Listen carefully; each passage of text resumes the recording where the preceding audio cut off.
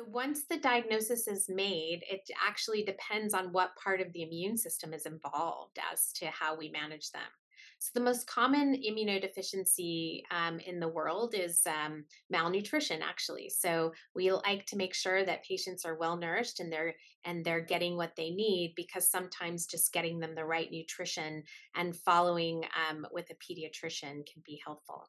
The second, um, but if the patient has a problem in their immune system and it's not just an environmental factor, uh, the um, most common problem is is making antibodies, and we know um, that antibodies are our immune system's memory to help us remember an infection and fight it fast, so it doesn't cause a lot of problems in our organs.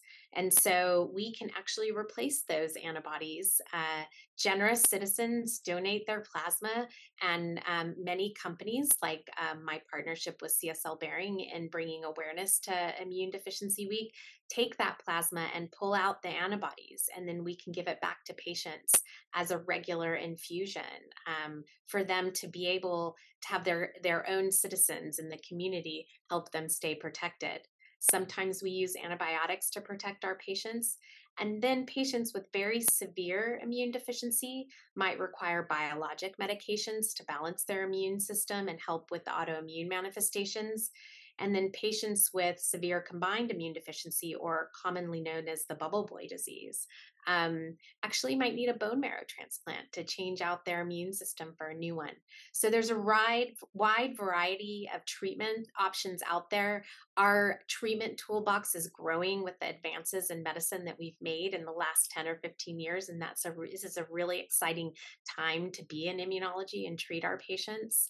Um, but the key is early diagnosis and getting to the right specialist who can manage that collection of therapies to give our patients a better quality of life. It is when patients are diagnosed with PI, I will say that the immunologist is the captain of the ship. Um, but this is a team sport. And since we know that our um, patients have disease in some of their other organs, we partner with our college, colleagues in other specialties to co manage these patients on a regular basis. So it really takes a, a village to help us manage these patients.